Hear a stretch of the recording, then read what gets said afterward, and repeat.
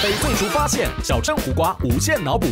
请问，人们最早是从哪种动物身上得知咖啡的作用？他选 B 的时候，寒冰印象中咖啡最早是从中东那一带起源的。那那一带，我觉得最有代表性的动物就是羊，应该是羊先去吃到咖啡，人类才发现它的作用。羊吃到咖啡，所以搭出来也是咖啡。羊大便，哦，羊大便蛮像的鼻子的大便。鼻子我知道叫声大便的。今晚九点，地球人请回答。